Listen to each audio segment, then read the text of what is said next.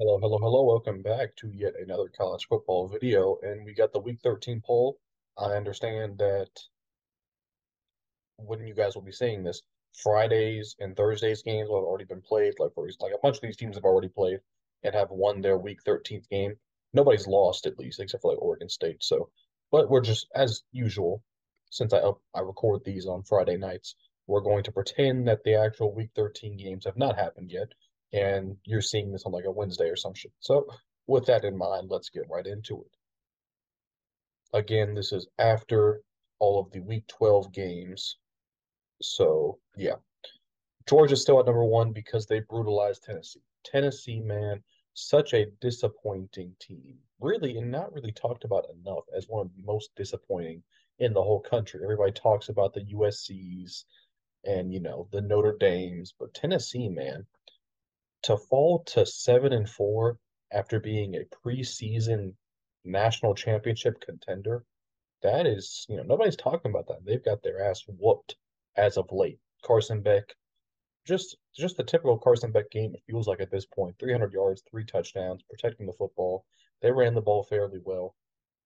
Three receivers over 60 yards, and defensively, they gave up a 70 plus yard touchdown on the very first play.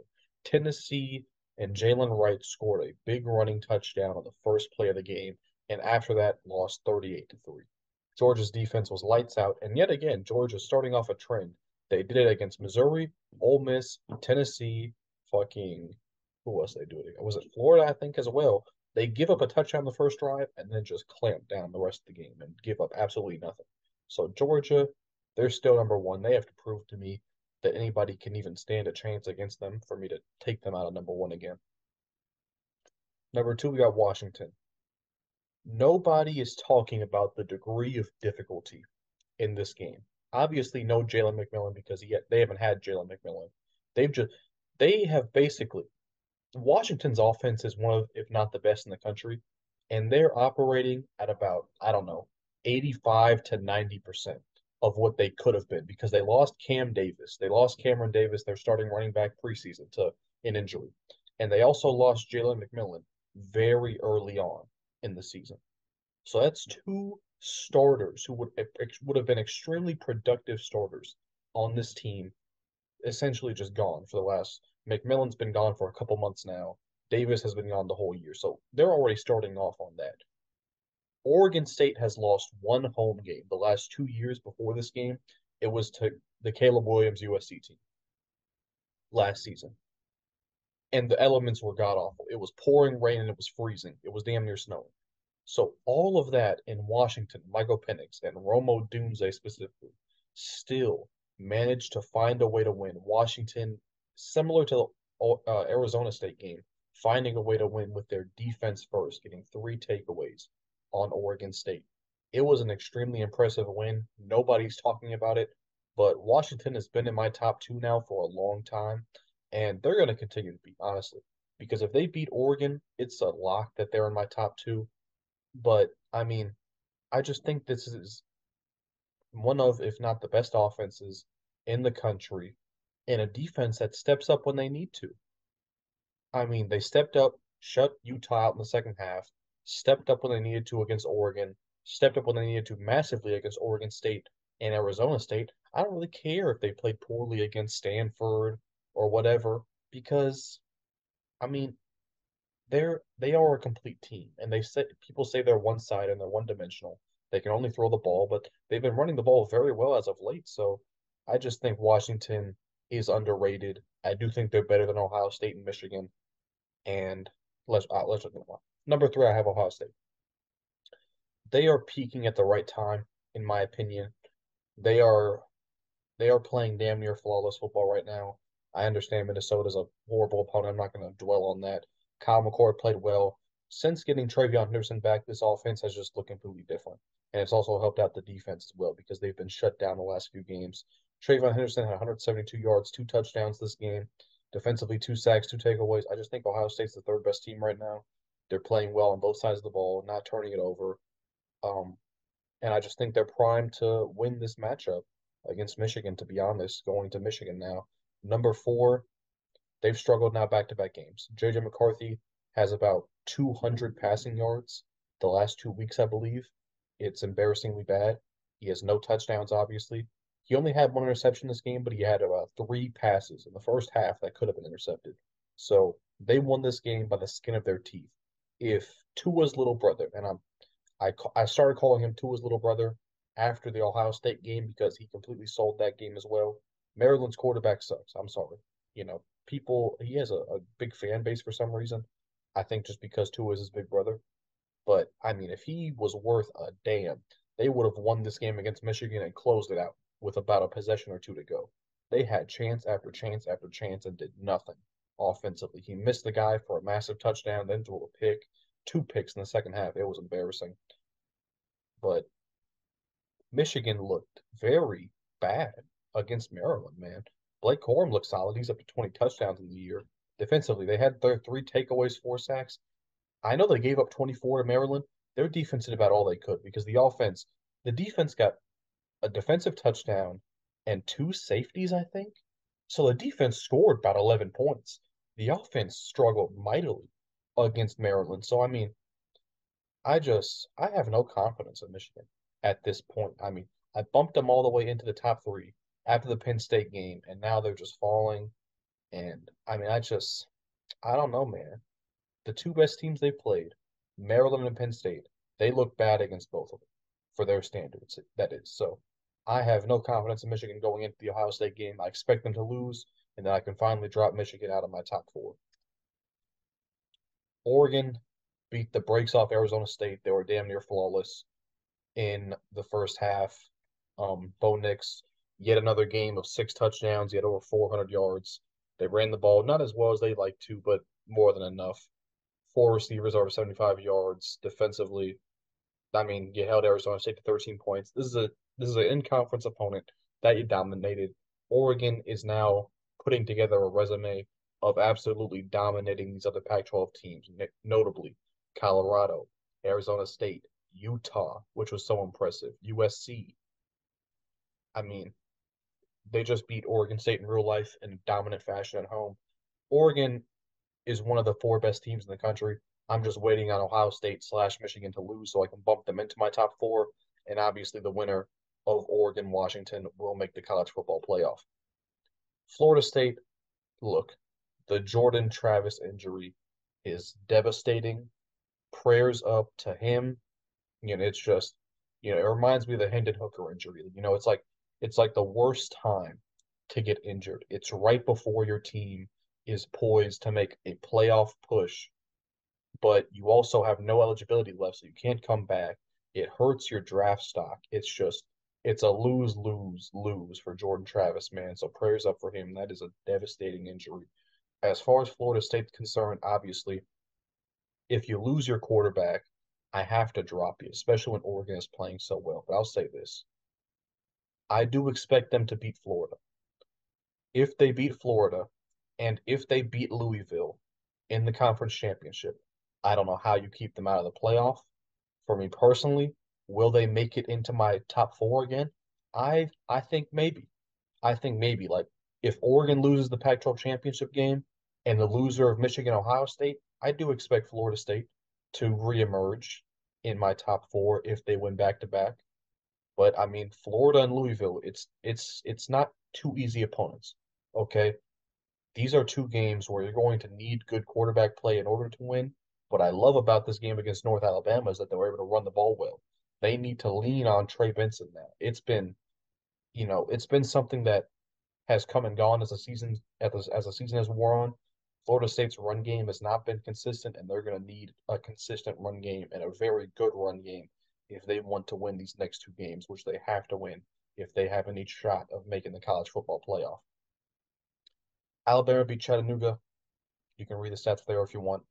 Uh, nobody cares. It's Chattanooga. Texas at eight. They beat Iowa State in a close game. Yet another close game for Texas. Quinn Ewers came back, looked good. Um, was he back last game? Even I don't know. I mean, he's been back for a while now, I think.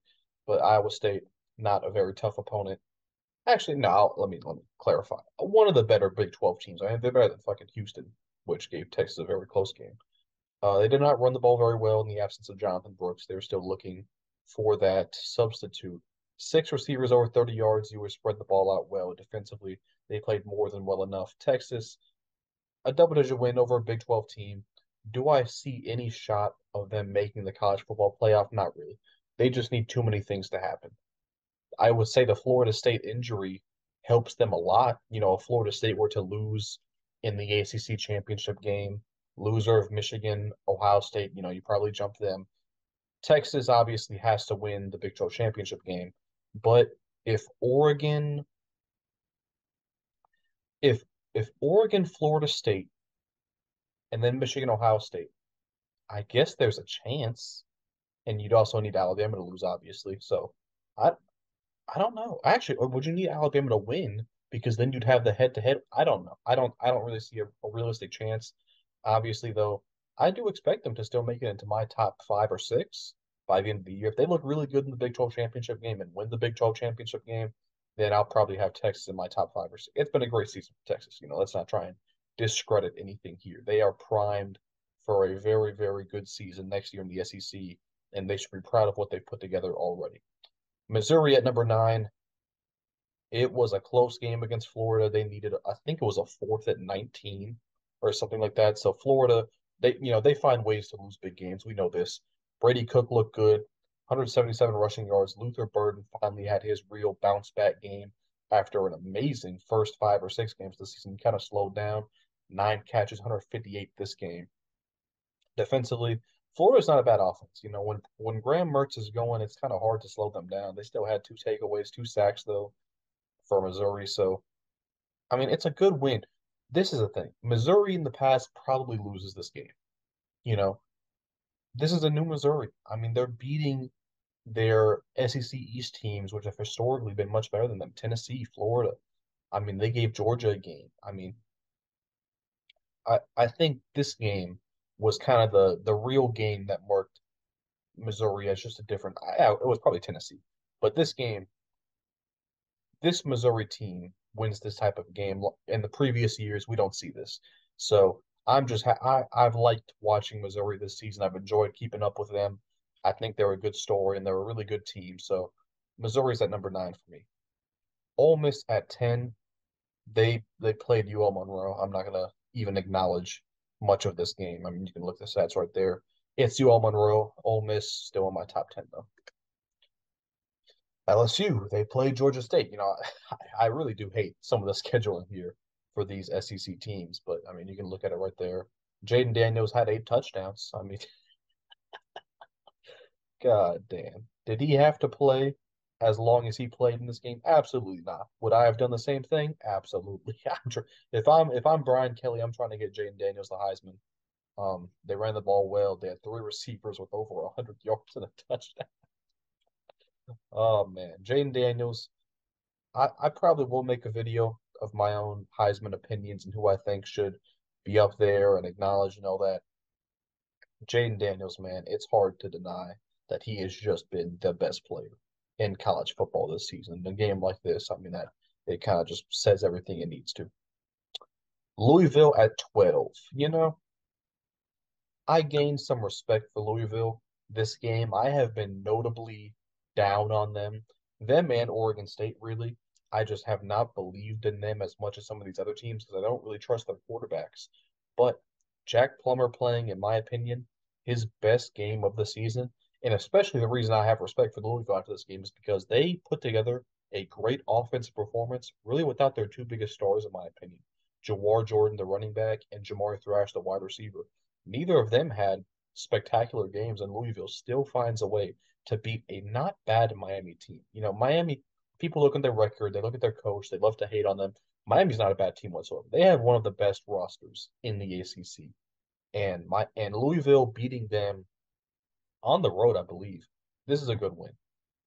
Uh defensively, not what I've come to expect from Louisville, giving up nearly 500 yards to to Van Dyck, but still, offensively, like I said, they found a way to get it done, and they have a lot of momentum now going against Florida State. I know they have one more game to play against Kentucky, but it doesn't affect their ACC championship odds. Does Louisville have a shot of the playoff? No, absolutely not.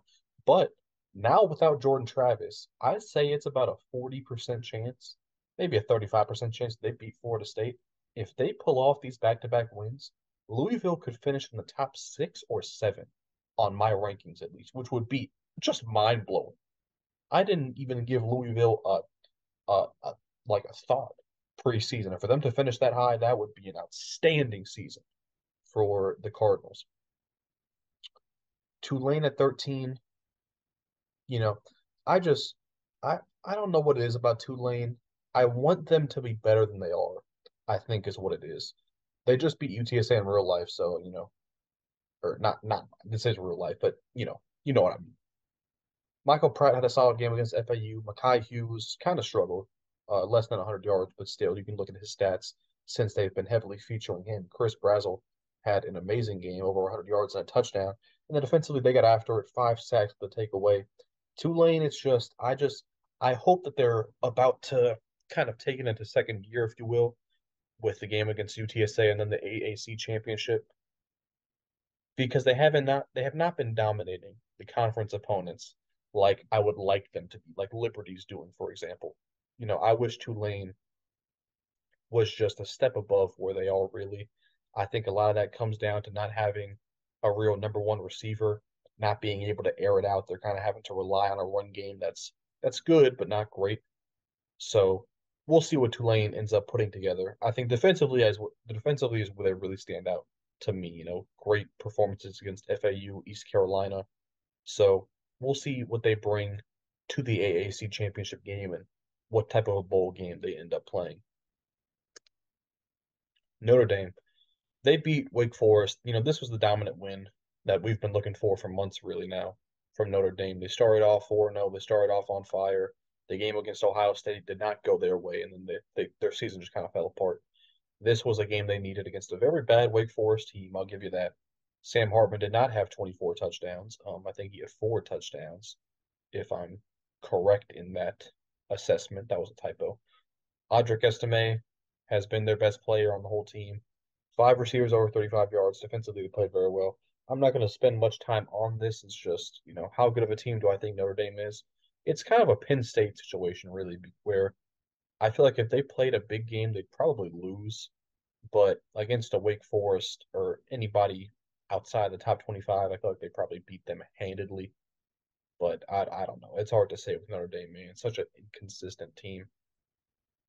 Penn State struggled versus Rutgers. I know the final score says 27 to 6, but it was not that close. Drew Allar yet like yet again sucked. I have I have lost all faith in Penn State. You know, I'll, I'll just be brutally honest with you.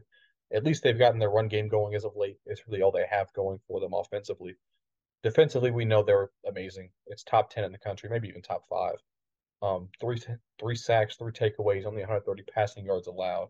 Drew Allar got outplayed by goddamn Montague, whatever Rutgers quarterback his name is. Uh, I have no faith whatsoever in this passing offense for Penn State. And without a passing game, you can't win big games at, at point blank. Um, so that's that. This whole screen of teams is teams that really I just I don't I don't have confidence in them winning any sort of big game. Moving on to Oklahoma, they beat BYU, and the story of Oklahoma's season really is struggling against Big 12 competition. Whether it's games you win close, like this game against BYU, or UCF or games you lose that you probably shouldn't lose, like Kansas and Oklahoma State. Oklahoma has struggled where Texas has sort of not struggled. Oklahoma won their big game. They won their Super Bowl against Texas, but they couldn't they couldn't clean up Kansas or, or Oklahoma State. Whereas Texas lost their biggest game. Well, but they also beat Alabama, and then they've won all their games they needed to against the BYUs and the Iowa States and the TCUs and the Kansas States. Oklahoma has not done that, and that's why that even though they peaked all the way at like six or seven, they have now they have now fallen off into number 16 for me. Dillon Gabriel had a good night, a good not great game. They struggled to run the ball as they have all season, really. And then defensively, giving up 24 to BYU is just unacceptable, really. They had three takeaways, had like a 100 yard pick six, I think but this game was far too close against a not good BYU team.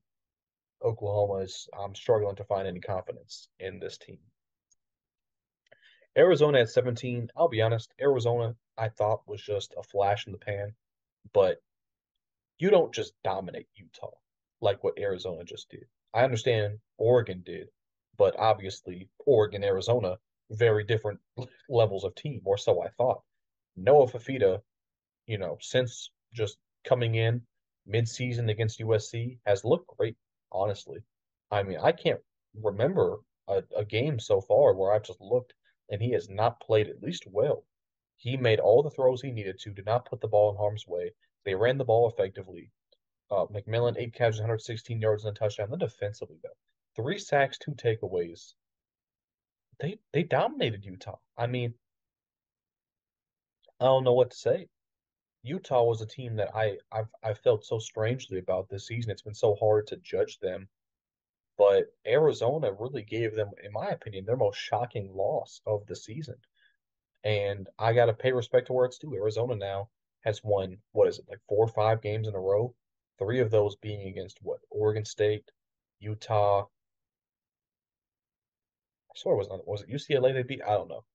It's been a very good season for Arizona and they are now in my top 20 for the first time. Oregon State with a loss to Washington. You know, this game, it, it kind of just came down to the difference in quarterback. We knew both teams were going to struggle throwing the football. Michael Penix had three touchdowns, no turnovers. DJ had no touchdowns, two turnovers. So, I mean, that's really what it comes down to.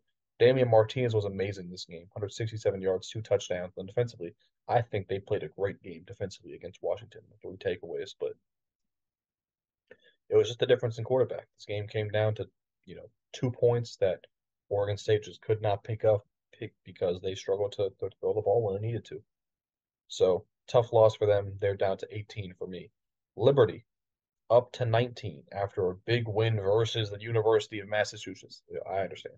But Kaidon Salter, what I don't get is, you know, I just Kaidon Salter has been better than a bunch of guys.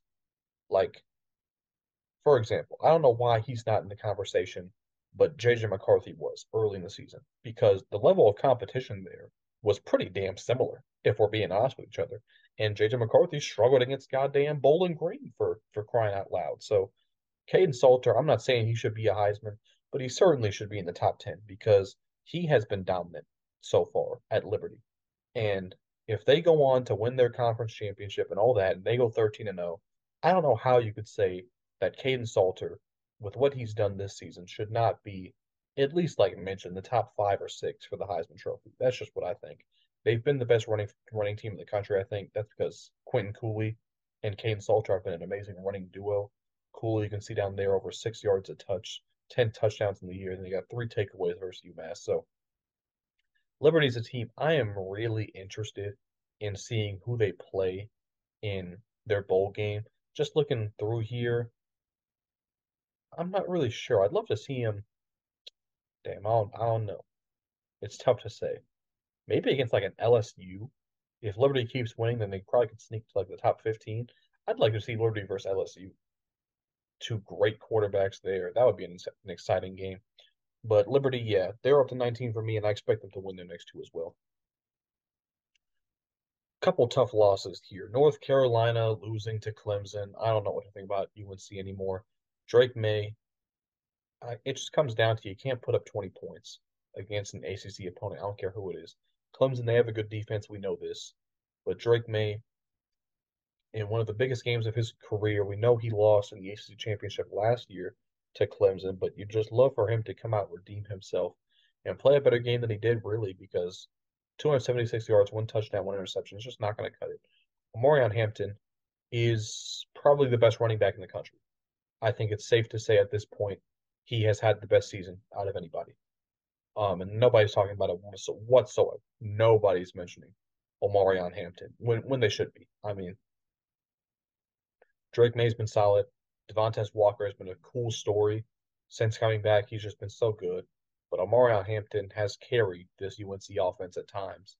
And defensively, give up 31 to Clemson. They had two takeaways. Defense did their job, to be honest. Offense has to do more in the situation, and North Carolina continues to be one of the most disappointing teams in the country. Utah, honestly, looking back at it now, I'm not really sure how I kept them in my top 25 because I mean they were at what what's that? They were at 12 for me after a fight against Washington. And then the, after this loss, yeah, this might have been a mistake on my part. Bryson Barnes, you know, I'll say this. He's better than I thought he was, but he absolutely turns it over way too much, man. They can't trust him to throw the ball downfield without him making multiple mistakes, which result in the other team getting the ball. Utah cannot run the ball consistently whatsoever. Um, since the USC game, it's just been all downhill from there. Um, I think they've lost three games since then to Washington, Oregon, and now this game against Arizona. Utah has fallen off a cliff, and it's tough to say why, but they just turnovers offensively, their defense crumbling as of late. That you know, from going from the best defense in the Pac-12 to I don't even know now. It, it's it's tough to say, man. Utah, I don't even want to talk about anymore. Oregon, or sorry, Oklahoma State. They beat Houston close. Alan Bowman, 348 yards, two touchdowns. Ollie Gordon with a massive bounce back game when they needed it most. 180 yards, three touchdowns. Brennan Presley, 15 catches, 189 yards. Defense got their two takeaways. Oklahoma State, I'll be honest, I'm not sure what the requirements are. I to make the Big 12 championship game. I think they have the tiebreaker still over Oklahoma, right? So are they in? Are they into the Big 12 championship? I have no clue. Uh, we will see, I guess. I'm trying to look right now and see uh what the standings are and all that, but let me see. It doesn't say. I don't I don't know who's playing the Big 12 championship game. But uh let me just look at it like this.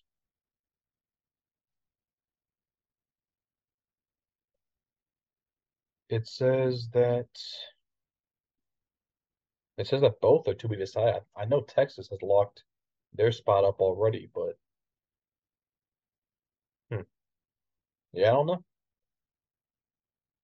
It says right here that Oklahoma is one spot ahead of Oklahoma State, but I guess we'll just have to. They play BYU, so we'll see what what happens there. But uh, they're at 22 for me. I just they're so inconsistent. They lost their games to UCF and South Alabama by so much. I just don't have much faith in them beating any of these other top teams up here. And then now it's just a crapshoot, really. Kansas State, they beat Kansas. Will Howard had a solid game. They run the ball very well at Kansas State, notably due to DJ Giddens. And then defensively, they got their three takeaways. Kansas was, Kansas was on their third string quarterback, I believe. So probably not a great win in hindsight, only winning by four against that. But still, I mean, Kansas State's been a team that has kind of been near there all season, you know, in this top level. I think they're supposed to be eight and three, actually, not seven and three. But I mean, who, who cares? It's Kansas State. It's 20, they're number 23. SMU at 24, they beat Memphis. I wanted to throw some other AAC team in here. SMU, I think, is now confirmed to be playing Tulane in the AAC championship game. Preston Stone, very good game against Memphis, almost 300 yards, three touchdowns. They run the ball very well at SMU, over 150 rushing yards this game. And they spread the ball around. They don't have a number one receiver, but they have a lot of guys that they can use. Uh, seven receivers this game with over 15 yards. And then defensively, they got their sack, got their takeaway. Memphis is a very good offense. So you may look at it and say, oh, 34 points allowed to Memphis, but Memphis is a good team. SMU with a close win there. I'm very much looking forward to them versus Tulane because I think they have a good shot to beat Tulane in the AAC championship game. James Madison. James Madison lost, y'all. Lost in overtime to App State. Uh, it was a close one, but it was James Madison's running game which ended up coming back to bite them. It's been suspect all season, and when they needed it most, they only ran for 1.8 yards per carry. It was tragic, man. Jordan McCloud, he did all he could, almost 300 yards, two touchdowns. But James Madison, that defense could not force enough stops. That offense could not score enough points. And they end up dropping their first game of the season to App State. They're still in my top 25, though. They could beat a lot of teams. But that run game, I just don't know if they could, you know, put together a dominant running performance, especially against any of these teams I have above them. With that being said, y'all, thank you for watching. If you like, please enjoy the video, uh, if you enjoyed the video, please leave a like, subscribe if you're new, comment your thoughts, and I'll see you on the next one. Peace. It's out the motherfucking pack. niggas don't know how to act.